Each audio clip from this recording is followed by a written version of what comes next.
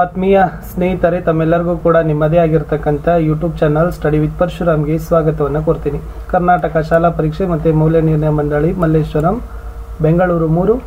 March, April ಎರಡು ಸಾವಿರದ ಇಪ್ಪತ್ನಾಲ್ಕರ ಎಸ್ ಎಸ್ ಎಲ್ ಸಿ ಪರೀಕ್ಷೆ ಒಂದರಲ್ಲಿ ನಡೆದಿರ್ತಕ್ಕಂಥ ವಿಜ್ಞಾನ ವಿಷಯದ ಪ್ರಶ್ನೆ ಪತ್ರಿಕೆ ಮತ್ತು ಮಾದರಿ ಉತ್ತರಗಳನ್ನು ನಾವು ಫಿಸಿಕ್ಸ್ ಕೆಮಿಸ್ಟ್ರಿ ಮತ್ತು ಬಯೋ ಮೂರರಲ್ಲಿನೂ ಕೂಡ ನೋಡೋಣ. ಆಲ್ರೆಡಿ ಎಲ್ಲ ಸಬ್ಜೆಕ್ಟದು ಕೂಡ ನಾನು ಏನು ಮಾಡಿದ್ದೆ, ಮಂಡಳಿಯ ಉತ್ತರಗಳನ್ನು ಹಾಕಿದ್ದೆ. ಆಯಾ ವಿಷಯಗಳ ಪ್ಲೇಲಿಸ್ಟ್ ಲಿಂಕಲ್ಲಿದೆ ನೋಟ್ಸ್ ಇದ್ದಾವೆ ಕ್ವಶನ್ ಪೇಪರ್ಸ್ ಇದ್ದಾವೆ ಪಾಸಿಂಗ್ ಪ್ಯಾಕೇಜ್ ಇದ್ದಾವೆ just S S L C ವಿಜ್ಞಾನ ಪ್ರಶ್ನೋತ್ತರ ಅಂತ ನೀವು ಪ್ಲೇಲಿಸ್ಟ್ ಲಿಂಕ್ ಮಾಡಿದರೆ ಸಾಕು. ಸೈನ್ಸ್ನ ಎಲ್ಲ ಮಟೀರಿಯಲ್ ನಿಮಗೆ ಸಿಗ್ತದೆ. ಫಸ್ಟ್ ಫಿಸಿಕ್ಸಲ್ಲಿ ನೋಡ್ಕೊಂಡು ಬರೋಣ. ಮುಖ್ಯ ಪ್ರಶ್ನೆ ಒಂದು, ಬಹು ಆಯ್ಕೆ ಪ್ರಶ್ನೆಗಳು ಮೂರಿದಾವ. ಮೊದಲ ಪ್ರಶ್ನೆ, ಸೌರ ಕೋಶಗಳಲ್ಲಿ ಬಳಸುವ ಧಾತು ಅಂತ ಕೇಳಿದ್ದಾರೆ. ಆಯ್ಕೆ B silicon is the right answer ಪ್ರಶ್ನೆ ಎರಡು ಒಂದು ವಿದ್ಯುತ್ ಮಂಡಲದಲ್ಲಿ ಸಮಾನ ರೋಧ ಆರ್ ಎಸ್ ಅನ್ನ ಪಡೆಯಲು ಎರಡು ಓಮ್ಗಳ ನಾಲ್ಕು ರೋಧಕಗಳನ್ನು ಮೊದಲು ಸರಣಿ ಕ್ರಮದಲ್ಲಿ ಜೋಡಿಸಿದೆ ನಂತರ ಸಮಾನ ರೋಧ ಆರ್ ಪಿ ಅನ್ನು ಪಡೆಯಲು ಅದೇ ರೋಧಕಗಳನ್ನು ಸಮಾಂತರವಾಗಿ ಜೋಡಿಸಿದೆ R S divided by R ಪಿಗಳ ಅನುಪಾತ ಎಷ್ಟು ಅಂತ ಕೇಳಿದರೆ ಸರಿಯಾದ ಉತ್ತರ ಆಯ್ಕೆ ಎ ಹದಿನಾರು ಅನುಪಾತ ಒಂದು. ಪ್ರಶ್ನೆ ಮೂರು. ಚದುರುವ ಸೂರ್ಯನ ಬೆಳಕಿನ ಬಣ್ಣ ಮತ್ತು ಚದುರಿಸುವ ವಾಯುಮಂಡಲದ ಕಣಗಳ ಗಾತ್ರಕ್ಕೆ ಸಂಬಂಧಿಸಿದಂತೆ ಸರಿಯಾದ ಹೇಳಿಕೆ ಕೇಳಿದ್ದಾರೆ ಆಯ್ಕೆ ಡಿ ಅತ್ಯಂತ ದೊಡ್ಡ ಗಾತ್ರದ ಕಣಗಳು ಎಲ್ಲ ಬಣ್ಣಗಳನ್ನು ಸಮಾನವಾಗಿ ಚದುರಿಸ್ತವೆ ಪ್ರಶ್ನೆ ನಾಲ್ಕು, ಒಂದು ವಿದ್ಯುತ್ ಮಂಡಲದಲ್ಲಿ ಉಪಯೋಗಿಸುವ ಕೆಳಗಿನ ಘಟಕಗಳ ಚಿಹ್ನೆಗಳನ್ನು ಬರೀರಂತೆ ಕೇಳಿದ್ರು. ಎರಡು ವಿದ್ಯುತ್ ಕೋಶಗಳ ಸಂಯೋಜನೆ, ಇದು ಚಿತ್ರ ಬರ್ತದೆ. ನೆಕ್ಸ್ಟ್ ಸೇರ್ಪಡೆ ಇಲ್ಲದ, ಇಲ್ಲದೆ ದಾಟಿದ ತಂತಿ ಅಂತಕ್ಕಂಥದ್ದು ಈ ಚಿಹ್ನೆ ಬರ್ತದೆ. ನೆಕ್ಸ್ಟ್ ಪ್ರಶ್ನೆ ಐದು ಹದಿನೈದು ಆಂಪಿಯರ್ ರೇಟಿಂಗ್ ಮತ್ತು ಎರಡು ನೂರ ಇಪ್ಪತ್ತು ವೋಲ್ಟ್ ವಿಭವಾಂತರ ಹೊಂದಿರುವ ಗೃಹ ಬಳಕೆಯ ವಿದ್ಯುತ್ ಮಂಡಲಕ್ಕೆ ಎರಡು ಕಿಲೋವ್ಯಾಟ್ ಸಾಮರ್ಥ್ಯವಿರುವ ವಿದ್ಯುತ್ ಹೀಟರ್ ಅನ್ನು ಜೋಡಿಸಬಹುದೇ? ನಿಮ್ಮ ಉತ್ತರ ಪುಷ್ಟೀಕರಿಸಿ. ಇಲ್ಲಿ ಜೋಡಿಸಬಹುದು. ಏಕೆಂದರೆ ವಿದ್ಯುತ್ ಮಂಡಲದ ರೇಟಿಂಗ್ ಹನ್ನೆರಡು ಆಂಪಿಯರ್ಗಿಂತ ಕಡಿಮೆನೇ ಇದೆ. ಮುಂದಿನ ಪ್ರಶ್ನೆ ಆರು. ಬಿಳಿ ಬೆಳಕಿನ ರೋಹಿತ ಎಂದರೇನು? ಬೆಳಕಿನ ವಕ್ರೀಭವನದಿಂದ ವಾಯುಮಂಡಲದಲ್ಲಿ ಉಂಟಾಗೋ ಯಾವುದಾದರೂ ಎರಡು ವಿದ್ಯಮಾನಗಳನ್ನು ಹೆಸರಿಸಿರಿ. ನೋಡಿ, ಗಾಜಿನ ಪಟ್ಟಕದ ಮೂಲಕ ಬೆಳಕು ವಿಭಜನೆ ಹೊಂದಿ ಉಂಟಾಗುವ ಬೆಳಕಿನ ವರ್ಣಮಯ ಘಟಕಗಳ ಪಟ್ಟಿಯನ್ನು ಬೆಳಕಿನ ರೋಹಿತ ಅಂತ ಕರಿತೀವಿ. ಇಲ್ಲಿ ನೈಸರ್ಗಿಕ ವಿದ್ಯಮಾನಗಳು ಅಂತಂದ್ರೆ ಏನು ಬರಿಬಹುದಪ್ಪ ಅಂತಂದ್ರೆ ನಕ್ಷತ್ರಗಳ ಮಿನುಗುವಿಕೆ, ಶೀಘ್ರ ಸೂರ್ಯೋದಯ ಮತ್ತು ವಿಳಂಬಿತ ಸೂರ್ಯಾಸ್ತ, ಕಾಮನ ಬಿಲ್ಲು ಉಂಟಾಗೋದು. ಇನ್ನೊಂದು ಪ್ರಶ್ನೆ ಇದೆ. ಕಣ್ಣಿನ ಪೊರೆ ಎಂದರೇನು? ಸಾಮಾನ್ಯ ದೃಷ್ಟಿಯುಳ್ಳವರಿಗೆ ಸಮೀಪ ಬಿಂದು ಮತ್ತು ದೂರ ಬಿಂದುಗಳು ಯಾವುವು? ಉತ್ತರ, ಹಲವಾರು ಬಾರಿ ವಯಸ್ಸಾದವರಿಗೆ ಕಣ್ಣಿನ ಸ್ಫಟಿಕ ಮೊಸರವು ಹಾಲಿನಂತೆ ಬೆಳ್ಳಗೆ ಹಾಗೂ ಮೋಡ ಕವಿದಂತಾಗ್ತದೆ ಇದನ್ನೇ ಕಣ್ಣಿನ ಪೊರೆ ಅಂತ ಕರಿತೀವಿ. ಸಮೀಪ ಬಿಂದು ಇಪ್ಪತ್ತೈದು ಸೆಂಟಿಮೀಟರ್, ದೂರದ ಬಿಂದು ಅನಂತ ದೂರ. ಪ್ರಶ್ನೆ ಏಳು. ನ್ಯೂಕ್ಲಿ ಶಕ್ತಿಯ ಉತ್ಪಾದನೆಯು ಅನುಕೂಲಕರವಾಗಿಯೂ ಮತ್ತೆ ಅನನುಕೂಲವಾಗಿಯೂ ಇದೆ. ಈ ಹೇಳಿಕೆಯನ್ನ ಸೂಕ್ತ ವಿವರಣೆಯೊಂದಿಗೆ ಸ್ಪಷ್ಟೀಕರಿಸಿ. ಇಲ್ಲಿ ಅನುಕೂಲಗಳು ಅಂದ್ರೆ ಏನ್ ಬರಿಬೇಕಂದ್ರೆ, ಯುರೇನಿಯಂ ಒಂದು ಪರಮಾಣುವಿನ ವಿದಳನದಿಂದ ಬಿಡುಗಡೆಯಾಗುವ ಶಕ್ತಿ, ಕಲ್ಲಿದ್ದಲಿನಲ್ಲಿರುವ ಕಾರ್ಬನ್ನ ಒಂದು ಪರಮಾಣುವಿನ ದಹನ ಕ್ರಿಯೆಯಿಂದ ಬಿಡುಗಡೆಯಾಗುವ ಶಕ್ತಿಯ ಹತ್ತು ಮಿಲಿಯನ್ ಪಟ್ಟು ಹೆಚ್ಚಾಗಿದೆ. ಸಾಂಪ್ರದಾಯಿಕ ಇಂಧನಗಳನ್ನು ಉಳಿಸಿಕೊಳ್ಳಬಹುದು ಅಂತ ಬರೀಬಹುದು. ಇನ್ನು ಅನನುಕೂಲಗಳಲ್ಲಿ ಏನು ಬರಬಹುದು? ಇದರ ಇಂಧನಗಳ ಸೇಕರಣೆ ಮತ್ತು ತ್ಯಾಜ್ಯ ವಿಲೇವಾರಿ ಕಷ್ಟ, ಸ್ಥಾಪನೆ ವೆಚ್ಚ ದುಬಾರಿ ಪರಿಸರ ಮಾಲಿನ್ಯ ಅಂತಕ್ಕದ್ದನ್ನು ಬರೀಬಹುದು. ಪ್ರಶ್ನೆ ಎಂಟು. ಕೊಟ್ಟಿರೋ ಚಿತ್ರದಲ್ಲಿ ವ್ಯಕ್ತಪಡಿಸಿದಂತೆ ದೃಷ್ಟಿ ದೋಷವನ್ನು ಹೊಂದಿರುವ ವ್ಯಕ್ತಿಯ ಎರಡು ಪಾಯಿಂಟ್ ಸೊನ್ನೆ ಡಯಾಪ್ಟರ್ ಸಾಮರ್ಥ್ಯ ಹೊಂದಿರುವ ಮಸೂರದ ಕನ್ನಡಕವನ್ನು ಖರೀದಿಸಿದ್ದಾರೆ. ಆ ವ್ಯಕ್ತಿಯ ದೃಷ್ಟಿದೋಷ ಮಸೂರಕ್ಕೆ ಈ ಮಸೂರ ಸೂಕ್ತವೇ? ವಿಶ್ಲೇಷಿಸಿ. ನೋಡಿ ಆ ವ್ಯಕ್ತಿಯ ದೃಷ್ಟಿದೋಷ ಪರಿಹಾರಕ್ಕೆ ಈ ಮಸೂರ ಸೂಕ್ತವಲ್ಲ. ಹತ್ತಿರದ ವಸ್ತುವಿನಿಂದ ಬರುವ ಬೆಳಕಿನ ಕಿರಣಗಳು ರೆಟಿನಾದ ಹಿಂಭಾಗದಲ್ಲಿ ಕೇಂದ್ರೀಕೃತವಾಗ್ತವೆ. ಆದ್ದರಿಂದ ಇದು ದೂರದೃಷ್ಟಿ ಮತ್ತೆ ಇದನ್ನು ಸೂಕ್ತ ಸಾಮರ್ಥ್ಯದ ಪೀನ ಮಸೂರವನ್ನು ಕನ್ನಡಕದಲ್ಲಿ ಬಳಸಿ ಸರಿಪಡಿಸಬೇಕು. ಮೈನಸ್ ಟು ಸೊನ್ನೆ ಡಯಾಪ್ಟರ್ ಸಾಮರ್ಥ್ಯದ ಮಸೂರ, ಇದು ನಿಮ್ನ ಮಸೂರ ಮತ್ತು ಈ ಮಸೂರ ಈ ದೋಷವನ್ನು ಸರಿಪಡಿಸೋದೇ ಇಲ್ಲ. ಮೂರಂಕದ ಪ್ರಶ್ನೆ. ಪ್ರಶ್ನೆ ಒಂಬತ್ತು. ಪೀನ ಮಸೂರದ ಮುಂದೆ ಟು ಎಫ್ ಒನ್ನಲ್ಲಿ ವಸ್ತುವನ್ನು ಇರಿಸಿದಾಗ ಉಂಟಾಗುವ ಪ್ರತಿಬಿಂಬದ ರೇಖಾಚಿತ್ರ ಬರೀರಿ. ರೇಖಾಚಿತ್ರದ ಸಹಾಯದಿಂದ ಪ್ರತಿಬಿಂಬದ ಸ್ಥಾನ ಮತ್ತು ಸ್ವಭಾವಗಳನ್ನು ಬರೀರಿ. ಎಫ್ ಒನ್ ಮಸೂರದ ಪ್ರಧಾನ ಸಂಗಮ ಆಗಿರಲಿ. ಸೊ ಇಷ್ಟು ನೀವೇನು ಮಾಡಬೇಕಾಗಿತ್ತು? ರೇ ಡಯಾಗ್ರಾಮ್ ಅನ್ನು ತೆಗೆದು ಪ್ರತಿಬಿಂಬದ ಸ್ಥಾನ ಟು ಎಫ್ ಟೂನಲ್ಲಿ ಸ್ವಭಾವ, ಸತ್ಯ ಮತ್ತು ತಲೆ ಕೆಳಗ ಅಂತ ಬರೀಬೇಕು. ಹತ್ತನೇ ಪ್ರಶ್ನೆ. ಎರಡು ಓಂ ರೋಧದಿಂದ ಪ್ರತಿ ಸೆಕೆಂಡಿಗೆ ಎರಡು ನೂರು ಜೂಲ್ ಉಷ್ಣಶಕ್ತಿ ಉತ್ಪತ್ತಿಯಾಗ್ತಿದೆ. ರೋಧಕದ ನಡುವಿನ ವಿಭವಾಂತರ ಕಂಡುಹಿಡಿಯಿರಿ ಅಂತ ಕೇಳಿದ್ದಾರೆ. ಸೊ ವೆರಿ ಈಸಿಯಾಗಿರ್ತಕ್ಕಂಥದ್ದು ಎಚ್ ಇನ್ನೂರು ಜೂಲ್ ಆರ್ ಎಂಟು ಎಂಪಿಯರ್ ಟಿ ಒನ್ ಸೆಕೆಂಡ್ ಫಿ ಕಂಡುಹಿಡಬೇಕು. So H is equal to I square into R into T ಅಂತ ಇದೆ. I is equal to root H divided by R T so I ಎಷ್ಟು? ಐದು ampere ಬರ್ತದೆ. ಫಿ ಎಷ್ಟು ಬರ್ತದೆ? ಫಾರ್ಟಿ ವ್ಯಾಟ್ ಅಂತಕ್ಕಂಥದ್ದು ಬರ್ತದೆ. ಇನ್ನೊಂದು ಪ್ರಶ್ನೆ ಇದೆ. ಮುನ್ನೂರು ವ್ಯಾಟ್ ದರದ ರೆಫ್ರಿಜರೇಟರ್ ದಿನಕ್ಕೆ ಆರು ಗಂಟೆಗಳ ಕಾಲ ಬಳಕೆಯಾಗ್ತದೆ. ಒಂದು ಕಿಲೋವ್ಯಾಟ್ ಅವರಿಗೆ ರೂಪಾಯಿ ಏಳರಂತೆ ಮೂವತ್ತು ದಿನಗಳವರೆಗೆ ಕಾರ್ಯನಿರ್ವಹಿಸುವ ಶಕ್ತಿಯ ಮೌಲ್ಯವೇನು ಅಂತ ಕೇಳಿದ್ದಾರೆ. ಮೂವತ್ತು ದಿನಗಳವರೆಗೆ ರೆಫ್ರಿಜರೇಟರ್ ಬಳಸಿದ ಒಟ್ಟು ಶಕ್ತಿ ಮುನ್ನೂರು ವ್ಯಾಟ್ ಇಂಟು ಆರು ಗಂಟೆ ಅಪಾನ್ ದಿನ ಇಂಟು ಮೂವತ್ತು ದಿನಗಳು ಅಂತ ಬರಬೇಕು. ಸೊ ಅದರಲ್ಲಿ ಇಪ್ಪತ್ತು, ಐವತ್ನಾಲ್ಕು ಕಿಲೋ ವ್ಯಾಟ್ ಅವರು ಬರ್ತದೆ. ಸೊ ಅವಾಗ ಏಳು ದಿನಗಳ, ಮೂವತ್ತು ದಿನಗಳವರೆಗೆ ಏಳು ರೂಪಾಯಿ ಅಂತೆ ಒಟ್ಟು ಶಕ್ತಿ ಎಷ್ಟಾಗಿದೆ ಅಂತ ಕಂಡುಹಿಡಬೇಕಾದ್ರೆ ನಾವು ಮುನ್ನೂರ ಎಪ್ಪತ್ತೆಂಟು ರೂಪಾಯಿ ಅಂತಕ್ಕಂಥದ್ದನ್ನು ಬರೀಬೇಕು. ಪ್ರಶ್ನೆ ಹನ್ನೊಂದು. ಗೃಹ ಬಳಕೆಯ ವಿದ್ಯುತ್ ಮಂಡಲಗಳಲ್ಲಿ ಓವರ್ ರೋಡ್ ಉಂಟಾಗಲು ಕಾರಣ ಏನು ಮತ್ತೆ ಭೂಸಂಪರ್ಕ ತಂತಿಯ ಕಾರ್ಯವನ್ನು ಬರೀರಿ ಅಂತ ಕೇಳಿದ್ದಾರೆ. ಉತ್ತರ ಓವರ್ಲೋಡ್ ಉಂಟಾಗಲು ಏನು ಕಾರಣ ಅಂದರೆ ಸಜೀವ ತಂತಿ ಮತ್ತು ತಟಸ್ಥ ತಂತಿ ನೇರ ಸಂಪರ್ಕಕ್ಕೆ ಬರ್ತದೆ. ವಿದ್ಯುತ್ ಉಪಕರಣಗಳಲ್ಲಿ ದೋಷವಾಗ್ತದೆ. ಹಲವು ಉಪಕರಣಗಳನ್ನು ಒಂದೇ ಸಾಕೆಟ್ಗೆ ಜೋಡಿಸ್ತಾರೆ. ಇನ್ನು ಭೂಸಂಪರ್ಕ ತಂತಿಯ ಕಾರ್ಯ. ವಿದ್ಯುತ್ ಉಪಕರಣಗಳ ಲೋಹದ ಮೇಲ್ಮೈಗೆ ಭೂಸಂಪರ್ಕ ತಂತಿಯನ್ನು ಜೋಡಿಸಲಾಗ್ತದೆ. ವಿದ್ಯುತ್ ಉಪಕರಣಗಳಲ್ಲಿ ಸೋರಿಕೆ ಉಂಟಾದಾಗ ಅದರ ವಿಭವಾಂತರವನ್ನು ಭೂಮಿಯ ವಿಭ್ವಾಂತರಕ್ಕೆ ಸಮನಾಗಿಸ್ತದೆ ಮತ್ತು ಬಳಕೆದಾರರಿಗೆ ತೀವ್ರ ವಿದ್ಯುತ್ ಆಘಾತವಾಗುವುದಿಲ್ಲ ಅಂತ ಬರಬೇಕು. ಇನ್ನೊಂದು ಪ್ರಶ್ನೆ ಇದೆ ನೋಡಿ. ಅವಾಹಕ ಹೊದಿಕೆ ಇರುವ ಒಂದು ತಾಮ್ರದ ತಂತಿಯ ಸುರುಳಿಯನ್ನ ಎಸ್ ಗ್ಯಾಲೋನೋಮೀಟರ್ಗೆ ಸಂಪರ್ಕಿಸಲಾಗಿದೆ. ಒಂದು ದಂಡಕಾಂತವನ್ನು ಸುರುಳಿಯ ಒಳಗೆ ತಳ್ಳಿದಾಗ, ಸುರುಳಿಯ ಒಳಗಿನಿಂದ ಹಿಂತೆಗೆದುಕೊಂಡಾಗ, ಸುರುಳಿಯ ಒಳಗೆ ನಿಚ್ಚಲವಾಗಿರಿಸಿದಾಗ ಏನಾಗ್ತದೆ? ವೆರಿ ಸಿಂಪಲ್ ಇದೆ. ಗ್ಯಾಲೋನೋಮೀಟರ್ ಸೂಜಿಯು ವಿಚಲನೆ ಹೊಂದದೆ ಸೂಜಿಯು ಮೊದಲಿನ ದಿಕ್ಕಿಗೆ ವಿರುದ್ಧ ದಿಕ್ಕಿನಲ್ಲಿ ಚಲನೆ ಹೊಂದದ. ಗ್ಯಾಲೋನೋಮೀಟರ್ ಸೂಜಿ ವಿಚಲನೆ ಹೊಂದೋದಿಲ್ಲ, ಸೂಜಿ ಶೂನ್ಯದಲ್ಲಿ ಇರ್ತದೆ. ನಾಲ್ಕು ಮಾರ್ಕ್ಸಿನ ಪ್ರಶ್ನೆಗಳು. ಎದಲ್ಲಿ ಬಲಗೈ ಹೆಬ್ಬೆರಳಿನ ನಿಯಮವನ್ನು ನಿರೂಪಿಸಿ, ಕಾಂತೀಯ ಬಲರೇಖೆಗಳ ಯಾವುದಾದರೂ ಎರಡು ಲಕ್ಷಣಗಳನ್ನು ಬರೀರಿ. ನೋಡಿ, ಇಲ್ಲೇನು ಉತ್ತರ ಇದೆ ಅಂತಂದ್ರೆ, ಬಲಗೈ ವಿದ್ಯುತ್ ಪ್ರವಹಿಸುತ್ತಿರುವ ವಾಹಕ ತಂತಿಯನ್ನು ಹಿಡಿದುಕೊಂಡಾಗ ಹೆಬ್ಬೆರಳು ವಿದ್ಯುತ್ ಪ್ರವಾಹದ ದಿಕ್ಕನ್ನು ಸೂಚಿಸುತ್ತದೆ ಕಾಂತಕ್ಷೇತ್ರದ ಕಾಂತೀಯ ಬಲರೇಖೆಗಳ ದಿಕ್ಕಿನಲ್ಲಿ ವಾಹಕದ ಸುತ್ತಲೂ ನಿಮ್ಮ ಬೆರಳುಗಳು ಸುತ್ತಿಕೊಂಡಿರ್ತದೆ. ಇನ್ನು ಕಾಂತೀಯ ಬಲರೇಖೆಗಳ ಲಕ್ಷಣಗಳಲ್ಲಿ ಏನು ಬರೀಬೇಕಂದ್ರೆ, ಸೊ ಮೊದಲೇದು ಕಾಂತೀಯ ಬಲರೇಖೆಗಳು ಉತ್ತರ ಧ್ರುವದಲ್ಲಿ ಉತ್ಸರ್ಜಿತವಾಗ್ತವೆ, ದಕ್ಷಿಣ ಧ್ರುವದಲ್ಲಿ ವಿಲೀನವಾಗ್ತದೆ. ಆವೃತ್ತ ಜಾಲಗಳಾಗಿವೆ, ದಿಕ್ಕು ಮತ್ತು ಪರಿಮಾಣವನ್ನು ಹೊಂದಿವೆ, ಒಂದನ್ನೊಂದು ಛೇದಿಸೋದಿಲ್ಲ. ಇನ್ನು ಬಿ ಪ್ರಶ್ನೆ, ಸೊಲೆನೈಡ್ ಅಂದ್ರೆ ಏನು? ಇದನ್ನು ಒಂದು ವಿದ್ಯುತ್ ಕಾಂತವಾಗಿ ಹೇಗೆ ಪರಿವರ್ತಿಸಬಹುದು? ಉತ್ತರ ನೋಡಿ. ಅವಾಹಕ ಹೊದಿಕೆ ಇರುವ ತಾಮ್ರದ ತಂತಿಯ ಅನೇಕ ಸುರುಳಿಗಳನ್ನು ಒತ್ತೊತ್ತಾಗಿ ಸುತ್ತಿರುವ ಸಿಲಿಂಡರ್ ಆಕಾರವನ್ನ ಸೊಲೆನೈಡ್ ಅಂತ ಕರಿತೀವಿ. ಅಂದ್ರೆ ಈ ವಿದ್ಯುತ್ ಪ್ರವಾಹವಿರುವ ಸೊಲೆನೈಡ್ನ ಒಳಭಾಗದಲ್ಲಿ ಒಂದು ಕಾಂತೀಯ ವಸ್ತುವಾದ ಮೆದು ಕಬ್ಬಿನ ತುಂಡವನ್ನು ಇರಿಸಿ ವಿದ್ಯುತ್ ಕಾಂತವನ್ನಾಗಿಸಬಹುದು. ಹದಿಮೂರನೇ ಪ್ರಶ್ನೆ, ಬೆಳಕಿನ ಪ್ರತಿಫಲನದ ಎರಡು ನಿಯಮಗಳನ್ನು ನಿರೂಪಿಸಿ. ನಿಮ್ನ ದರ್ಪಣ ಮತ್ತು ಪೀನ ದರ್ಪಣದ ಎರಡು ವ್ಯತ್ಯಾಸಗಳನ್ನು ಬರೀರಿ. ನೋಡಿ, ಬೆಳಕಿನ ಪ್ರತಿಫಲನದ ನಿಯಮಗಳಲ್ಲಿ ಪತನ ಕೋನ ಪ್ರತಿಫಲನ ಕೋನಕ್ಕೆ ಸಮಾನೇ ಇರ್ತದ. ಇನ್ನು ಪತನ ಕೋನ ಪತನ ಬಿಂದುವಿನಲ್ಲಿ ಪ್ರತಿಫಲನದ ಮೇಲ್ಮೈಗೆ ಎಳೆದ ಲಂಬ ಮತ್ತು ಪ್ರತಿಫಲಿನ ಪ್ರತಿಫಲಿತ ಕಿರಣ ಒಂದೇ ಸಮತಲದಲ್ಲಿ ಬರ್ತವೆ. ಇನ್ನು ಪೀನ ದರ್ಪಣ ಮತ್ತು ನಿಮ್ನ ದರ್ಪಣದ ವ್ಯತ್ಯಾಸಗಳಲ್ಲಿ ಬರಬೇಕಾದ್ರೆ ಸೊ ಪೀನ ದರ್ಪಣ ಬೆಳಕನ್ನ ಪ್ರತಿಫಲಿಸುವ ಮೇಲ್ಮೈ ಉಬ್ಬು ಆಗಿರ್ತದೆ. ಇದು ಬೆಳಕನ್ನ ಪ್ರತಿಫಲಿಸುವ ಮೇಲ್ಮೈ ತಗ್ಗಾಗಿರ್ತದೆ. ವಸ್ತುವಿನ ಪ್ರತಿಬಿಂಬ ಯಾವಾಗಲೂ ಚಿಕ್ಕ ಮತ್ತು ನೇರ. ಇಲ್ಲಿ ವಸ್ತುವಿನ ಪ್ರತಿಬಿಂಬ ಯಾವಾಗಲೂ ಏನಾಗಿರ್ತದಪ್ಪ ಅಂದ್ರ ಚಿಕ್ಕದು, ದೊಡ್ಡದು ಮತ್ತೆ ಸಮ ಆಗಿರುತ್ತದೆ. ದೂರಕ್ಕೆ ಅನುಗುಣವಾಗಿ. ಇದು ಮಿಥ್ಯ ಪ್ರತಿಬಿಂಬ, ಇದು ಸತ್ಯ ಮತ್ತು ಮಿಥ್ಯ ಪ್ರತಿಬಿಂಬ. ವಾಹನದ ಹಿನ್ನೋಟಗಳಲ್ಲಿ ಬಳಕೆ, ಟಾರ್ಚ್ಗಳಲ್ಲಿ ವಾಹನದ ಮುಂಭಾಗದಲ್ಲಿ ಬಳಕೆ ಅನ್ನೋದನ್ನ ನೀವೇನ್ ಮಾಡಬೇಕು? ಬರಿಬೇಕಾಗ್ತದೆ. ಇನ್ನು ಇನ್ನೂ ಒಂದು ಪ್ರಶ್ನೆ ಇದೆ. ಎಸ್. ಇಲ್ಲಿಗೆ ಫಿಸಿಕ್ಸ್ ಸೆಕ್ಷನ್ ಮುಗೀತು. ಕೆಮಿಸ್ಟ್ರಿದಲ್ಲಿ ನೋಡೋಣ. ಪ್ರಶ್ನೆ ಹದಿನಾಲ್ಕು. ಕಾರ್ಬಾಕ್ಸಿಲಿಕ್ ಆಮ್ಲ ಮತ್ತು ಆಲ್ಕೋಹಾಲ್ಗಳ ನಡುವಿನ ವರ್ತನೆಯಿಂದ ಉಂಟಾಗುವ ಸಾಯುವ ಸಂಯುಕ್ತ ಕೇಳಿದರೆ ಸಿ ಎಸ್ಟರ್ಗಳು ರೈಟ್ ಆನ್ಸರ್. ಇನ್ನು ಪೇರಸ್ ಸಲ್ಫೇಟ್ ಹರಳುಗಳನ್ನು ಕಾಸಿದಾಗ ಹಸಿರು ಬಣ್ಣವನ್ನು ಕಳೆದುಕೊಳ್ತವೆ, ಏಕೆಂದರೆ ಈ ಸಂಯುಕ್ತ ಅಂತ ಕೇಳಿದರೆ ಬಿ ನೀರಿನ ಅಣುಗಳನ್ನು ಕಳೆದುಕೊಳ್ಳುತ್ತದೆ ಹದಿನಾರು ಮೆಂಡಲಿವ್ರವರ ಆವರ್ತ ಕೋಷ್ಟಕದ ಒಂದು ಮಿತಿ ಏನಂತ ಕೇಳಿದರೆ ಅದು ಡಿ, ಹೈಡ್ರೋಜನ್ಗೆ ಸ್ಥಿರವಾದ ಸ್ಥಾನವನ್ನು ನಿಯೋಜಿಸಲು ಸಾಧ್ಯವಾಗಲಿಲ್ಲ ಅನ್ನೋದು ಬರೀಬೇಕಿತ್ತು.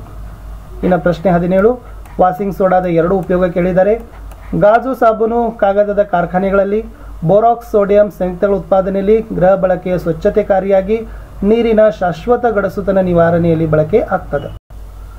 ಮುಂದಿನ ಪ್ರಶ್ನೆ, ಆಧುನಿಕ ಆವರ್ತಕ ಕೋಷ್ಟಕದಲ್ಲಿ ಆವರ್ತಗಳು ಮತ್ತು ಗುಂಪುಗಳು ಎಂದರೆ ಏನು? ಉತ್ತರ, ಆವರ್ತಕ ಕೋಷ್ಟಕದ ಅಡ್ಡ ಸಾಲುಗಳು ಆವರ್ತಗಳು, ಕಂಬ ಸಾಲುಗಳು, ಗುಂಪುಗಳು.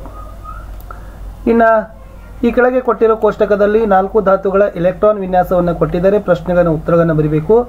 ಈ ಧಾತುಗಳನ್ನು ಅವುಗಳ ಪರಮಾಣುಗಳ ತ್ರಿಜ್ಯಗಳ ಗಾತ್ರಕ್ಕನುಗುಣವಾಗಿ ಇಳಿಕೆ ಕ್ರಮದಲ್ಲಿ ಬರೀಬೇಕಾಗಿತ್ತು. ಸೊ ಏನು ಬರ್ತದೆ ಜಿ ಇ ಎಚ್ ಎಫ್ ಅಂತಕ್ಕಂಥ ಸೀರೀಸ್ ಬರಿಬೇಕು. ನೆಕ್ಸ್ಟ್ ಇಪ್ಪತ್ತನೇ ಪ್ರಶ್ನೆ. ಸಾರರಿಕ್ತ ಸಲ್ಫುರಿಕ್ ಆಮ್ಲದೊಂದಿಗೆ ಸತುವಿನ ಚೂರುಗಳ ವರ್ತನೆ ಮತ್ತೆ ಉರಿಸುವಿಕೆ ಮೂಲಕ ಹೈಡ್ರೋಜನ್ ಅನಿಲದ ಪರೀಕ್ಷೆ ಮಾಡುವ ಉಪಕರಣಗಳ ಜೋಡಣೆ ಚಿತ್ರವನ್ನು ಬರೀರಿ ಅಂತ ಕೇಳಿದರೆ ಈ ತನಾಗಿರ್ತಕ್ಕಂಥ ಸಿಂಪಲ್ ಆಗಿರ್ತಕ್ಕಂಥ ಚಿತ್ರವನ್ನು ನೀವೇನು ಮಾಡಬೇಕಿತ್ತು? ಬರಿಬೇಕಿತ್ತು. ನೆಕ್ಸ್ಟ್ ಪ್ರಶ್ನೆ. ಏಕಕಾಲದಲ್ಲಿ ಕೆಂಪು ಮತ್ತು ನೀಲಿ ಲಿಟ್ಮಸ್ ಕಾಗದಗಳನ್ನು ಬ್ರೈನ್ ದ್ರಾವಣ ಮತ್ತು ಆ ದ್ರಾವಣವನ್ನ ವಿದ್ಯುತ್ ವಿಭಜನೆಗೆ ಒಳಪಡಿಸಿ ಪಡೆದ ಜಲೀಯ ಉತ್ಪನ್ನದಲ್ಲಿ ಅದ್ದಲಾಗಿದೆ. ಅದ್ದಲಾಗಿದೆ. ಲಿಟ್ಮಸ್ ಕಾಗದಗಳಲ್ಲಿ ನೀವು ಗಮನಿಸುವ ಬದಲಾವಣೆಗಳೇನು? ನಿಮ್ಮ ಉತ್ತರವನ್ನು ಕಾರಣಗಳೊಂದಿಗೆ ಪುಷ್ಟೀಕರಿಸಿ ಅಂತ ಕೊಟ್ಟಿದ್ದಾರೆ. ಸೊ, ಉತ್ತರ ನೋಡಿ. ಈ ಬ್ರೈನ್ ದ್ರಾವಣದಲ್ಲಿ ಮುಳುಗಿಸಿದ ಲಿಟ್ಮಸ್ ಕಾಗದಗಳ ಬಣ್ಣದಲ್ಲಿ ಯಾವುದೇ ಬದಲಾವಣೆ ಆಗುವುದಿಲ್ಲ ಏಕೆಂದರೆ ಅದು ತಟಸ್ಥ ದ್ರಾವಣ. ಈ ಬ್ರೈನ್ ದ್ರಾವಣದ ಮೂಲಕ ವಿದ್ಯುತ್ ಪ್ರವಾಹವನ್ನು ಹಾಯಿಸಿ ಪಡೆದ ಜಲೀಯ ಉತ್ಪನ್ನದಲ್ಲಿ ಮುಳುಗಿಸಿದ ಕೆಂಪು ಲಿಟ್ಮಸ್ ಕಾಗದ ನೀಲಿ ಬಣ್ಣಕ್ಕೆ ತಿರುಗ್ತದೆ, ಏಕೆಂದರೆ ಅದು ಪ್ರತ್ಯಾಮ್ಲೀಯ ದ್ರಾವಣ. ಇನ್ನೊಂದು ಪ್ರಶ್ನೆ ಇದೆ ನೋಡಿ. ಈ ಕೆಳಗಿನ ಕೊಟ್ಟಿರೋ ಕೋಷ್ಟಕವನ್ನು ಗಮನಿಸಿ ನಾಲ್ಕು ದ್ರಾವಣಗಳ ಪಿ ಎಚ್ ಮೌಲ್ಯ ಇದೆ. ಓಕೆನಾ ಸೊ ದ್ರಾವಣ ಇದೆ ಪಿ ಎಚ್ ಮೌಲ್ಯ ಇದೆ. ಆಮ್ಲ ಶಾಮಕದ ತಯಾರಿಕೆಗೆ ಯಾವ ದ್ರಾವಣವನ್ನು ಬಳಸ್ತೀವಿ ಏಕೆ? ಯಾವ ಎರಡು ದ್ರಾವಣಗಳನ್ನು ಬಳಸಿ ತಟಸ್ಥ ಲವಣವನ್ನು ಪಡೆಯಬಹುದು ಏಕೆ ಅಂತ ಕೇಳಿದ್ದಾರೆ. ಸೊ ಫಸ್ಟ್ ಆನ್ಸರ್ ಏನಪ್ಪ ಅಂದರೆ, ಪಿ ದ್ರಾವಣ ಆಮ್ಲ ಶಾಮಕದ ತಯಾರಿಕೆ ಬಳಸ್ತೀವಿ, ಏಕೆಂದರೆ ಅದು ಸೌಮ್ಯ ಪ್ರತ್ಯಾಮ್ಲ. ಇನ್ನು ಕ್ಯೂ ಮತ್ತು ಎಸ್ ದ್ರಾವಣಗಳನ್ನು ತಟಸ್ಥ ಲವಣ ಪಡೆಯಲು ಬಳಸ್ತೀವಿ ಕ್ಯೂ ಪ್ರಬಲ ಎಸ್ ಪ್ರಬಲ ಆಮ್ಲ ಅಂತಕ್ಕದ್ದನ್ನು ಬರೀಬೇಕು. ಕ್ಯೂ ಪ್ರಬಲ ಪ್ರತ್ಯಾಮ್ಲ ಎಸ್ ಪ್ರಬಲ ಆಮ್ಲ ಇಪ್ಪತ್ತೆರಡು, ತಾಮ್ರದ ವಿದ್ಯುತ್ ವಿಭಜನೆಯ ಶುದ್ಧೀಕರಣವನ್ನು ತೋರಿಸುವ ಉಪಕರಣಗಳ ಜೋಡಣೆಯ ಚಿತ್ರವನ್ನು ಬರೀರಿ. ಆಮ್ಲೀಕರಿಸಿದ ತಾಮ್ರದ ಸಲ್ಫೇಟ್ ದ್ರಾವಣವನ್ನು ಗುರುತಿಸಿ ಅಂತ ಕೇಳಿದರೆ ಇಷ್ಟು ಉತ್ತರಗಳನ್ನ ನೀವೇನು ಮಾಡಬೇಕಾಗಿತ್ತಪ್ಪ ಅಂತಂದ್ರೆ ಬರಿಬೇಕಿತ್ತು. ಇಪ್ಪತ್ತ್ ಮೂರನೇ ಪ್ರಶ್ನೆಗೆ ಹೋಗೋಣ. ಇಪ್ಪತ್ತ್ ಮೂರನೇ ಪ್ರಶ್ನೆ ಈ ಕೆಳಗಿನ ರಾಸಾಯನಿಕ ಕ್ರಿಯೆಗಳಲ್ಲಿ ಉತ್ಕರ್ಷಣ ಮತ್ತು ಅಪಕರ್ಷಣಗೊಂಡಿರುವ ವಸ್ತುಗಳನ್ನು ಗುರುತಿಸಿರಿ ಅಂತ ಕೇಳಿದ್ದಾರೆ. Zed n O plus C zed n plus C O ಅಂದೆ. ಆಮೇಲೆ ನೆಕ್ಸ್ಟ್ ಕುಮುಟುವಿಕೆ ಅಂದ್ರೆ ಏನು? ಇದನ್ನು ತಡೆಗಟ್ಟುವ ಎರಡು ವಿಧಾನಗಳನ್ನು ಬರೀರಿ ಅಂತ ಕೇಳಿದ್ದಾರೆ. ಇಲ್ಲಿ ಸಮೀಕರಣದಲ್ಲಿ ಜಡನ್ ಓ ಅಪಕರ್ಷಣಗೊಂಡಿದೆ ಸಿ ಉತ್ಕರ್ಷಣಗೊಂಡಿದೆ ಅಂತ ಬರೀಬೇಕಿತ್ತು. ಇನ್ನು ನೆಕ್ಸ್ಟ್ ಕೊಬ್ಬು ಮತ್ತು ಎಣ್ಣೆ ಪದಾರ್ಥಗಳು ಉತ್ಕರ್ಷಣಗೊಂಡಾಗ ಅವುಗಳ ವಾಸನೆ ಮತ್ತು ರುಚಿ ಬದಲಾಗ್ತದೆ. ಆಹಾರ ಪದಾರ್ಥಗಳಿಗೆ ಉತ್ಕರ್ಷಣೆ ತಡೆಗಟ್ಟುವ ವಸ್ತುಗಳನ್ನ ಸೇರಿಸೋದು, ಆಹಾರ ಪದಾರ್ಥಗಳನ್ನ ಗಾಳಿ ಪ್ರವೇಶಿಸದ ಸಂಗ್ರಾಹಕಗಳಲ್ಲಿ ಶೇಖರಿ, ಸಂಗ್ರಹಿಸೋದು. ಸೊ ಇಷ್ಟು ಏನಾಗಿತ್ತು? ಈ ಪ್ರಶ್ನೆಯ ಉತ್ತರಗಳನ್ನ ಬರಿಬೇಕಿತ್ತು. ಇನ್ನ ನೆಕ್ಸ್ಟ್ ಕ್ವಶನ್ ಅಪರ್ಯಾಪ್ತ ಕಾರ್ಬನ್ ಸಂಯುಕ್ತವನ್ನ ಪರ್ಯಾಪ್ತ ಕಾರ್ಬನ್ ಸಂಯುಕ್ತವನ್ನಾಗಿ ಪರಿವರ್ತಿಸೋ ರಾಸಾಯನಿಕ ಕ್ರಿಯೆಯನ್ನ ಕೆಳಗೆ ನೀಡಿರುವ ಅಪೂರ್ಣ ಸಮೀಕರಣವನ್ನ ಪ್ರತಿನಿಧಿಸುತ್ತದೆ ಸಮೀಕರಣ ಪೂರ್ತಿಗೊಳಿಸಬೇಕು ಎಕ್ಸ್ ಮತ್ತು ವೈ ಅನ್ನು ಗುರುತಿಸಬೇಕು. ಈ ಕ್ರಿಯೆಯ ಅಂತಿಮ ಉತ್ಪನ್ನ ಸೂರ್ಯನ ಬೆಳಕಿನಲ್ಲಿ ಕ್ಲೋರಿನ್ನೊಂದಿಗೆ ವರ್ತಿಸಿದಾಗ ಏನಾಗ್ತದೆ? ಇದು ವೆರಿ ಈಸಿ ಇದೆ. ಸೊ ಈ ತನ್ನಾಗಿರ್ತಕ್ಕಂಥ ಅದನ್ನು ಬರಿಬೇಕಾಗಿತ್ತು. ಎಕ್ಸ್ ಅಂದ್ರೆ ಹೈಡ್ರೋಜನ್ ವೈ ಅಂದ್ರೆ ನಿಕಲ್ ಅಥವಾ ಪೆಲೆಡಿಯಂ ಇನ್ನು ನೆಕ್ಸ್ಟ್ ಆದೇಶನ ಕ್ರಿಯೆಗೆ ಒಳಪಡ್ತದೆ. ಕ್ಲೋರಿನ್ ಹೈಡ್ರೋಜನ್ ಪರಮಾಣುಗಳನ್ನು ಒಂದೊಂದಾಗಿ ಸ್ಥಾನ ಪಲ್ಲಟ ಮಾಡ್ತಾನೆ ಹೋಗ್ತದೆ. ಇನ್ನು ನೆಕ್ಸ್ಟ್ ಪ್ರಶ್ನೆ. ಕಾರ್ಬನ್ ಪರಮಾಣು ಸಿ ಫೋರ್ ಪ್ಲಸ್ ಮತ್ತೆ ಸಿ ಫೋರ್ ಮೈನಸ್ ಅಯಾನ್ಗಳನ್ನು ಉಂಟು ಮಾಡಲು ಸಾಧ್ಯ ಇಲ್ಲ. ಏಕೆ? ಇನ್ನು ಮೀಥೇನಿನ ಎಲೆಕ್ಟ್ರಾನ್ ಚುಕ್ಕಿ ರಚನೆಯನ್ನ ಬರೀರಿ ಅಂತ ಕೇಳಿದ್ದಾರೆ. ಸೊ ಇದು ಉತ್ತರ ಇದೆ. ನಾಲ್ಕು ಎಲೆಕ್ಟ್ರಾನ್ಗಳನ್ನು ಪಡೆದುಕೊಂಡ ಸಿ ಫೋರ್ ಮೈನಸ್ ಆಗಲು ಸಾಧ್ಯವಿಲ್ಲ, ಏಕೆಂದರೆ ಆರು ಪ್ರೋಟಾನ್ಗಳಿರುವ ಬೀಜ ಕೇಂದ್ರ ಹತ್ತು ಎಲೆಕ್ಟ್ರಾನ್ಗಳನ್ನು ಹಿಡಿದಿಟ್ಟುಕೊಳ್ಳೋದು ಕಷ್ಟ. ಇನ್ನು ನಾಲ್ಕು ಎಲೆಕ್ಟ್ರಾನ್ಗಳನ್ನು ಕಳೆದುಕೊಂಡ ಸಿ ಫೋರ್ ಧನ ಆಗಲು ಸಾಧ್ಯವಿಲ್ಲ, ಏಕೆಂದರೆ ಕಾರ್ಬನ್ನಿಂದ ನಾಲ್ಕು ಎಲೆಕ್ಟ್ರಾನ್ಗಳನ್ನು ಹೊರತೆಗೆಯಲು ಹೆಚ್ಚಿನ ಶಕ್ತಿಯ ಅವಶ್ಯಕತೆ ಇದೆ ಅಂತಕ್ಕಂಥದ್ದು. ಬರಬೇಕು, ಇದು ಮಿಥೇನ ಡಯಾಗ್ರಾಮ್ ಅದ. ಇನ್ನು ನೆಕ್ಸ್ಟ್ ಸಾಬೂನು ಸ್ವಚ್ಛಗೊಳಿಸುವ ಕ್ರಿಯೆಯಲ್ಲಿ ಮಿಸೈಲ್ಗಳು ಹೇಗೆ ಉಂಟಾಗ್ತದೆ? ನೀರು ಗಡಸುತನಕ್ಕೆ ಕಾರಣವಾದ ಲವಣ ಏನು? ಮಾರ್ಜಕಗಳು ಗಡಸು ನೀರಿನಲ್ಲಿಯೂ ಪರಿಣಾಮಕಾರಿ ಏಕೆ ಅಂತ ಕೇಳಿದ್ದಾರೆ. ಆನ್ಸರ್ ಸಾಬೂನಿನ ಅಯಾನಿಕ್ ತುದಿ ನೀರಿನೊಂದಿಗೆ ಮತ್ತು ಕಾರ್ಬನ್ ಸರಪಳಿಯು ಕೊಳೆಯೊಂದಿಗೆ ವರ್ತಿಸಿ ಮಿಸೈಲ್ಗಳನ್ನು ಉಂಟು ಮಾಡುತ್ತದೆ ಇಲ್ಲಿ ಕ್ಯಾಲ್ಸಿಯಂ ಮತ್ತು ಮೆಗ್ನೀಸಿಯಂ ಲವಣಗಳು. ಈ ಮಾರ್ಜಕಗಳು ಗಡಸು ನೀರಿನ ಕ್ಯಾಲ್ಸಿಯಂ ಮತ್ತು ಮೆಗ್ನೀಸಿಯಂ ಅಯಾನುಗಳೊಂದಿಗೆ ಜಲ ವಿಲೀನಗೊಳ್ಳದ ಒತ್ತಡಗಳನ್ನು ಉಂಟು ಮಾಡುತ್ತದೆ ಇನ್ನು ಬೆಳ್ಳಿ ಮತ್ತು ತಾಮ್ರದ ವಸ್ತುಗಳು ಅವುಗಳ ಮೇಲ್ಮೈ ಹೊಳಪನ್ನು ಹೇಗೆ ಕಳೆದುಕೊಳ್ತವೆ ಗ್ಯಾಲ್ವನೀಕರಣ ಕಬ್ಬಿಣದ ವಸ್ತುಗಳನ್ನು ಹೇಗೆ ಸಂರಕ್ಷಿಸುತ್ತದೆ ಉತ್ತರ ನೋಡಿ. ಬೆಳ್ಳಿಯ ಪಾತ್ರೆಯನ್ನು ಗಾಳಿಗೆ ತೆರೆದಿಟ್ಟಾಗ ಅದು ಸಲ್ಫರ್ನೊಂದಿಗೆ ವರ್ತಿಸಿ ಸಲ್ಫರ್ ಡೈಆಕ್ಸೈಡ್ ಕಪ್ಪು ಪದರು ಬರ್ತದೆ. ತಾಮ್ರ, ಗಾಳಿಯಲ್ಲಿನ ತೇವ ಪೂರಿತ ಕಾರ್ಬನ್ ಡೈಆಕ್ಸೈಡ್ ಜೊತೆ ವರ್ತಿಸಿ ತಾಮ್ರದ ಕಾರ್ಬೋನೇಟ್ ಹಸಿರು ಪದರು ಬರ್ತದೆ. ಈ ಗ್ಯಾಲ್ವನೀಕರಣದಿಂದ ಉಂಟಾದ ಸತುವಿನ ಲೇಪನ ಆಕ್ಸಿಜನ್ ಜೊತೆ ವರ್ತಿಸಿ ಸತುವಿನ ಆಕ್ಸೈಡ್ ಪದರವಾಗಿ ಹೆಚ್ಚಿನ ಉತ್ಕರ್ಷಣೆ ತೆರೆಗಟ್ಟುತ್ತದೆ ಬಿ ಪ್ರಶ್ನೆ, ಅಲ್ಯೂಮಿನಿಯಂ ಆಕ್ಸೈಡ್ ಉಭಯವರ್ತಿ ಆಕ್ಸೈಡ್ ಆಗಿದೆ, ಏಕೆ? ಉತ್ತರ, ಅಲ್ಯೂಮಿನಿಯಂ ಆಕ್ಸೈಡ್ ಆಮ್ಲ ಮತ್ತು ಪ್ರತ್ಯಾಮ್ಲಗಳೆರಡರ ಜೊತೆಗೆ ವರ್ತಿಸಿ ಲವಣ ಮತ್ತು ನೀರನ್ನು ಉಂಟು ಮಾಡ್ತದೆ ಇನ್ನು ಬಯೋದಲ್ಲಿರ್ತಕ್ಕಂಥ ಕ್ವಶನ್ಸ್ಗಳನ್ನು ನೋಡೋಣ. ಜೀವಶಾಸ್ತ್ರ. ಈ ಕೆಳಗಿನವುಗಳಲ್ಲಿ ಪರಾವರ್ತನ ಕ್ರಿಯೆಗೆ ನಿದರ್ಶನ ಕೇಳಿದರೆ ಸೀದೆ ಕಾದ ತವವನ್ನ ತಿಳಿಯದೆ ಮುಟ್ಟಿದಾಗ ಕೈಯನ್ನ ಹಿಂದಕ್ಕೆ ಎಳೆದುಕೊಳ್ಳೋದು ಇನ್ನು ದುಂಡನೆಯ ಬೀಜಗಳುಳ್ಳ ಬಟಾಣಿ ಸಸ್ಯ, ಆರ್ ಆರ್ ಸುಕ್ಕಾದ ಬೀಜಗಳುಳ್ಳ ಬಟಾಣಿ ಸಸ್ಯಗಳೊಂದಿಗೆ ಆರ್ ಆರ್ ಸಂಕರಣಗೊಳಿಸಲಾಗಿದೆ. ಎಫ್ ಟು ತಳಿಪೀಳಿಗೆಯಲ್ಲಿ ಆರ್ ಆರ್ ತಳಿಗುಣವನ್ನು ಹೊಂದಿರುವ ಸಸ್ಯಗಳ ಶೇಕಡಾ ಪ್ರಮಾಣ ಶೇಕಡಾ ಇಪ್ಪತ್ತೈದು. ಇಪ್ಪತ್ತೊಂಬತ್ತು ಓಝೋನ್ ಒಂದು ಮಾರಣಾಂತಿಕ ವಿಷವಾಗಿದ್ದರೂ ಭೂಮಿಯ ಮೇಲಿನ ಜೀವಿಗಳಿಗೆ ಇದು ಅಗತ್ಯ ಏಕೆ ಅಂತ ಕೇಳಿದ್ದಾರೆ. ಏಕೆಂದರೆ ಇದು ಸೂರ್ಯನಿಂದ ಬರುವ ನೆರಳಾತೀತ ವಿಕಿರಣಗಳಿಂದ ಭೂಮಿಯ ಮೇಲ್ಮೈಯನ್ನು ರಕ್ಷಣೆ ಮಾಡ್ತದೆ. ಸೊ, ಭೂಮಿಯ ಮೇಲಿನ ಜೀವಿಗಳನ್ನು ರಕ್ಷಣೆ ಮಾಡ್ತಕ್ಕಂಥ ಕೆಲಸನೇ ಓಝೋನ್ ಮಾಡ್ತದೆ. ಇನ್ನು ಸ್ತನಿಗಳಲ್ಲಿ ರಕ್ತ ಪರಿಚಲನೆ ರೇಖಾತ್ಮಕ ನಿರೂಪಣೆಯನ್ನು ಕೆಳಗೆ ನೀಡಿದೆ. ಅದನ್ನು ಎಕ್ಸ್ ಮತ್ತೆ ವೈಗಳನ್ನು ಬರೀರಂತೆ ಕೇಳಿದ್ರು. ಎಕ್ಸ್ ಅಪಧಮನಿ ವೈ ಅಭಿಧಮನಿ. ಇನ್ನು ಯಾವ ರಕ್ತನಾಳ ಕವಾಟವನ್ನು ಹೊಂದಿರ್ತದೆ, ಅಭಿಧಮನಿ ಅನ್ನೋದು ಸರಿ ಉತ್ತರ ನೆಕ್ಸ್ಟ್ ಪರಿಸರ ವ್ಯವಸ್ಥೆಯಲ್ಲಿ ಆಹಾರ ಸರಪಳಿ ಉನ್ನತ ಸ್ತರಕ್ಕೆ ತಲುಪಿದಂತೆ ಜೀವಿಗಳ ಸಂಖ್ಯೆ ಕಡಿಮೆಯಾಗ್ತದೆ ಏಕೆ? ಏಕೆಂದರೆ ಈ ಆಹಾರ ಸರಪಳಿ ಉನ್ನತ ಪೋಷಣ ಸ್ತರಕ್ಕೆ ತಲುಪಿದಂತೆ ಶಕ್ತಿಯ ಪ್ರಮಾಣ ಕಡಿಮೆ ಆಗ್ತಾನೆ ಹೋಗ್ತದೆ. ಶಲಕಾಗ್ರದ ಮೇಲೆ ಪರಾಗದ ಮೊಳಕೆ ತೋರಿಸುವಿಕೆ ಚಿತ್ರ. ಇದನ್ನ ಚಿತ್ರ ಬರೆದು ಪರಾಗ ನಳಿಕೆಯನ್ನು ನೀವೇನು ಮಾಡಬೇಕಿತ್ತು ಗುರುತಿಸಬೇಕಿತ್ತು. ಇನ್ನು ಮಾನವನ ವಿಸರ್ಜನಾಂಗ ವಿವಾದ ಚಿತ್ರವನ್ನು ಬರೀಬೇಕಾಗಿತ್ತು, ಮೂತ್ರಕೋಶವನ್ನು ಗುರುತಿಸಬೇಕಿತ್ತು. ಇದು ಮೂತ್ರಕೋಶ ಅಂತಕ್ಕಂಥದ್ದನ್ನು ಗುರುತಿಸಬೇಕಿತ್ತು. ಇನ್ನು ನೆಕ್ಸ್ಟ್ ಮುಂದಿನ ಪ್ರಶ್ನೆ. ನೆಲಮಟ್ಟದಿಂದ ಮೇಲೆ ನೀರನ್ನು ಸಂಗ್ರಹಿಸುವುದಕ್ಕಿಂತಲೂ ನೆಲದೊಳಗಿನ ನೀರನ್ನು ಮರುಪೂರ್ಣಗೊಳಿಸುವ ಕ್ರಮಗಳು ಉತ್ತಮ ಹೇಗೆ? ಮರುಚಕ್ರೀಕರಣಕ್ಕಿಂತ ಮರುಬಳಕೆ ಉತ್ತಮ ಹೇಗೆ? ಏದಲ್ಲಿ ಉತ್ತರ ನೋಡಿ. ನೀರು ಆವಿಯಾಗೋದಿಲ್ಲ ಬದಲಾಗಿ ವಿಸರಣೆಗೊಂಡು ಬಾವಿಗಳನ್ನು ಮರುಪೂರ್ಣಗೊಳಿಸುತ್ತದೆ ಮತ್ತು ಸಸ್ಯವರ್ಗಗಳಿಗೆ ತೇವಾಂಶವನ್ನು ಒದಗಿಸುತ್ತದೆ ಹೊಂಡಗಳಲ್ಲಿ ನಿಂತ ನೀರು ಅಥವಾ ಕೃತಕ ಕೆರೆಗಳಲ್ಲಾಗುವಂತೆ ಸೊಳ್ಳೆಗಳಿಗೆ ಮೊಟ್ಟೆಗಳನ್ನಿಟ್ಟು ಮರಿ ಮಾಡಲು ಬ್ರೀಡಿಂಗ್ ಪ್ರದೇಶ ಒದಗಿಸೋದಿಲ್ಲ. ಇದು ಮನುಷ್ಯರು ಮತ್ತು ಪ್ರಾಣಿ ತ್ಯಾಜ್ಯಗಳಿಂದ ಮಾಲಿನ್ಯವಾಗುವುದಿಲ್ಲ ಅಂತ ಬರೀಬೇಕು. ಇನ್ನು ಮರುಚಕ್ರೀಕರಣ ವಿಧಾನ ಸ್ವಲ್ಪ ಶಕ್ತಿಯನ್ನು ಬಳಸಿಕೊಳ್ತದೆ. ಮುಂದಿನ ಪ್ರಶ್ನೆ ಏದಲ್ಲಿ ಮಾನವ ಸಂತಾನೋತ್ಪತ್ತಿಯಲ್ಲಿ ಭ್ರೂಣ ಒಂದು ಮಗುವಾಗಿ ಬೆಳೆಯಲು ಜರಾಯು ಮಹತ್ವದ ಪಾತ್ರ ನಿರ್ವಹಿಸುತ್ತದೆ ಈ ಹೇಳಿಕೆ ಸಮರ್ಥಿಸಿ. ಮತ್ತೆ, ಡಿಎನ್ಎ ಸ್ವಪ್ರತೀಕರಣವು ಅತ್ಯಂತ ಕೆಳಮಟ್ಟದ ಜೀವಿಗಳಲ್ಲಿ ಒಂದು ಸಂತಾನೋತ್ಪತ್ತಿ ಮಾರ್ಗ ಎಂದು ಹೇಗೆ ನಿರ್ಣಯಿಸಬಹುದು? ತಾಯಿಯಿಂದ ಭ್ರೂಣಕ್ಕೆ ಆಕ್ಸಿಜನ್ ಮತ್ತು ಗ್ಲೂಕೋಸ್ ಸಾಗಿಸಲು ವಿಶಾಲವಾದ ಮೇಲ್ಮೈ ಕೊಡುತ್ತದೆ. ಬೆಳೆಯುತ್ತಿರುವ ಭ್ರೂಣ ಉತ್ಪತ್ತಿ ಮಾಡಲು ತ್ಯಾಜ್ಯ ವಸ್ತುಗಳನ್ನು ತಾಯಿಯ ರಕ್ತಕ್ಕೆ ಸಾಗಿಸಿ ಹೊರಹಾಕ್ತದೆ. ಇನ್ನು ಜೀವಕೋಶದ ನ್ಯೂಕ್ಲಿಯಸ್ ವಿಭಜನೆಗೊಳ್ಳುವುದ ಮೂಲಕ ಅನುವಂಶೀಯವಾಗಿ ಒಂದೇ ರೀತಿಯಾಗಿರುವ ಎರಡು ಮರಿಕೋಶಗಳನ್ನು ಉತ್ಪತ್ತಿ ಮಾಡುತ್ತದೆ ಮೂವತ್ತಾರರಲ್ಲಿರ್ತಕ್ಕಂಥ ಪ್ರಶ್ನೆ. ಪ್ರಾಣಿಗಳ ಉಸಿರಾಟ ಕ್ರಿಯೆಯಲ್ಲಿ ಕೋಶದ್ರವ್ಯದಲ್ಲಿ ನಡೆಯುವ ಮೊದಲನೇ ಹಂತದಲ್ಲಿ ಉಂಟಾಗುವ ಉತ್ಪನ್ನ ಯಾವುದು? ವಾಯುವಿಕ ಮತ್ತು ಅವಾಯುಕ ಉಸಿರಾಟಗಳ ನಡುವಿನ ವ್ಯತ್ಯಾಸಗಳನ್ನು ಬರಲಿಕ್ಕೆ ಕೇಳಿದರು. ಸೊ, ಉತ್ತರ ನೋಡಿ. ಸೊ, ಆರು ಕಾರ್ಬನ್ ಪರಮಾಣುವಾದ ಗ್ಲೂಕೋಸ್ ಮೂರು ಕಾರ್ಬನ್ ಅನುವಾದ ಪೈರ್ವೇಟ್ ಆಗಿ ವಿಭಜನೆ ಆಗ್ತದೆ. ಇದು ವಾಯುವಿಕ ಉಸಿರಾಟ ಇದು ಅವಾಯುವಿಕ ಉಸಿರಾಟದ ನಡುವಿನ ವ್ಯತ್ಯಾಸ. ಇನ್ನು ಸಸ್ಯಗಳ ಹಳೆಯ ಜೈಲಮ್ಗಳಲ್ಲಿ ತ್ಯಾಜ್ಯ ಪದಾರ್ಥಗಳು ಯಾವ ರೂಪದಲ್ಲಿ ಸಂಗ್ರಹವಾಗ್ತದೆ? ಇನ್ನು ಅತಿಥಿ ಸಂಶ್ಲೇಷಣೆ ಉತ್ಪನ್ನಗಳು ಸಸ್ಯದ ಎಲ್ಲಾ ಭಾಗಗಳಿಗೆ ಹೇಗೆ ಸಾಗಣೆ ಆಗ್ತದೆ ಅಂತ ಕೇಳಿದ್ದಾರೆ. ಎದಲ್ಲಿ ತ್ಯಾಜ್ಯ ಪದಾರ್ಥಗಳು ಸಸ್ಯದ್ದು ರಾಳ ಮತ್ತು ಅಂಟು ರೂಪ ಇರ್ತದೆ, ಇದು ನಿಮಗೆ ಗೊತ್ತೇ ಇದೆ. ಇನ್ನು ಬಿದಲ್ಲಿ ಉತ್ತರ ಬರಬೇಕು ಎ ಟಿ ಪಿ ಇಂದ ಶಕ್ತಿಯನ್ನು ಬಳಸಿಕೊಂಡು ಸುಕ್ರೋಸ್ನಂಥ ವಸ್ತುವನ್ನು ಪ್ಲೋಯಂ ಅಂಗಾಂಶಕ್ಕೆ ವರ್ಗಾಯಿಸಬೇಕು. ಆಗ ಅಂಗಾಂಶದ ಅಭಿಸರಣ ಒತ್ತಡ ಹೆಚ್ಚಿ ನೀರು ಅದರೊಳಗೆ ಪ್ರವೇಶಿಸುತ್ತದೆ ಈ ಒತ್ತಡ ಪ್ಲೋಯಂನಿಂದ ವಸ್ತುಗಳು ಕಡಿಮೆ ಒತ್ತಡವಿರುವ ಅಂಗಾಂಶಗಳಿಗೆ ಚಲಿಸುವಂತೆ ಮಾಡ್ತದೆ. ಇನ್ನು ಮಾನವನ ಮೆದುಳಿನ ಚಿತ್ರ ಬರೆದು ಮೆದುಳಿನ ಇದರಲ್ಲಿ ಅನೈಚ್ಛಿಕ ಚಟುವಟಿಕೆ, ಆಲೋಚನೆ ಪ್ರಕ್ರಿಯೆ, ದೇಹದ ಭಂಗಿ ಮತ್ತು ಸಮತೋಲನ ಯಾವುದನ್ನು ನಿಯಂತ್ರಿಸ್ತದೆ ಅಂತ ಕೇಳಿದ್ದಾರೆ. ಸೊ ಅದರಲ್ಲಿ ತಾವುಗಳು ಉತ್ತರಗಳನ್ನು ಏನು ಮಾಡಬೇಕಾಗಿತ್ತಪ್ಪ ಅಂತಂದರೆ ತುಂಬ ನೀಟಾಗಿ ಅವುಗಳನ್ನು ಬರಿಬೇಕಿತ್ತು. ಅದರಲ್ಲಿ ಫಸ್ಟ್ ಆನ್ಸರ್ ಮೆಡುಲಾ ಅನುಮಸ್ತಿಷ್ಕ, ಮಹಾಮಸ್ತಿಷ್ಕ, ಅನುಮಸ್ತಿಷ್ಕ ಅಂತ ಬರ್ತದೆ. ಬಿ ಪ್ರಶ್ನೆ ಏನಿದೆ ನೋಡಿ ಎಸ್ ಸಸ್ಯ ಹಾರ್ಮೋನು ಎಂದರೇನು? ಬೆಳವಣಿಗೆ ಉತ್ತೇಜಿಸುವ ಮೂರು ಸಸ್ಯ ಹಾರ್ಮೋನುಗಳನ್ನು ಬರೀರಿ ಅಂತ ಕೇಳಿದರು. ಅಲ್ಲಿ ಸಸ್ಯಗಳ ಬೆಳವಣಿಗೆ, ಅಭಿವರ್ಧನೆ ಮತ್ತು ಪರಿಸರಕ್ಕೆ ಪ್ರತಿಕ್ರಿಯೆಗಳನ್ನು ಸಮನ್ವಯಗೊಳಿಸಲು ಸಹಾಯ ಮಾಡುವ ಹಾರ್ಮೋನೇ ಸಸ್ಯ ಹಾರ್ಮೋನುಗಳು. ಆಕ್ಸಿನ್, ಜಿಬ್ಬರ್ಲಿನ್ ಮತ್ತು ಸೈಟೋಕೈನಿನ್ ಅಂತ ಬರೀಬೇಕು. ಇಲ್ಲಿ ಇನ್ನೊಂದು ಪ್ರಶ್ನೆ ಬರ್ತದೆ. ಏನಂದರೆ, ಮಾನವರಲ್ಲಿ ಕೆಳಗಿನ ಚಟುವಟಿಕೆಗಳನ್ನು ನಿಯಂತ್ರಿಸುವ ಹಾರ್ಮೋನುಗಳನ್ನು ಕೇಳಿದ್ದಾರೆ. ರಕ್ತದಲ್ಲಿ ಸಕ್ಕರೆ ಮಟ್ಟ ನಿಯಂತ್ರಣ, ಋತುಚಕ್ರ ನಿಯಂತ್ರಣ, ಪರಿಸ್ಥಿತಿಯನ್ನು ಎದುರಿಸಲು ದೇಹ ಸಿದ್ಧಗೊಳ್ಳೋದು, ಚಯಾಪಚಯ ಕ್ರಿಯೆಯನ್ನು ನಿಯಂತ್ರಿಸೋದು. ಸೊ ಇದರಲ್ಲಿ ಆನ್ಸರ್ಸ್ಗಳು ಅಂದರೆ ಅಂದ್ರೆ ಇನ್ಸುಲಿನ್ ಇಸ್ಟ್ರೋಜನ್ ಅಡ್ರಿನಾಲಿನ್ ಮತ್ತು ಥೈರಾಕ್ಸಿನ್ ಇನ್ನು ದ್ವಿತೀಯ ದ್ವಿತೀಯ ಅನುವರ್ತನೆ, ಗುರುತ್ವಾನುವರ್ತನೆ, ಜಲಾನುವರ್ತನೆ, ರಾಸಾಯನಿಕಾನುವರ್ತನೆ ಏನಂತ ಕೇಳಿದ್ದಾರೆ ಅವುಗಳ ಡೆಫಿನೇಷನ್ಗಳನ್ನು ನೋಡ್ಕೊಡ್ರಿ ಇದು ಕೂಡ ಮೋಸ್ಟ್ ಇಂಪಾರ್ಟೆಂಟ್ ಇದೆ.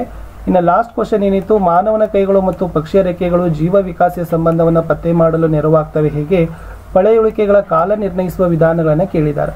ಸೊ ಇದರಲ್ಲಿ ಆಮೇಲೆ ಪರಿಸರದ ಅಂಶಗಳಿಂದ ಅಲೈಂಗಿಕ ಅಂಗಾಂಶಗಳಲ್ಲಾಗುವ ಬದಲಾವಣೆಗಳು ಅನುವಂಶವಾಗುವುದಿಲ್ಲ ಏಕೆ? ಸೊ ಏದಲ್ಲಿರ್ತಕ್ಕಂಥ ಪ್ರಶ್ನೆಗಳು, ಆಮೇಲೆ ಇದು ಪಳೆಯುಳಿಕೆ ನಿರ್ಧಾರವನ್ನು ಮಾಡ್ತಕ್ಕಂಥ ಪ್ರಶ್ನೆಗಳು.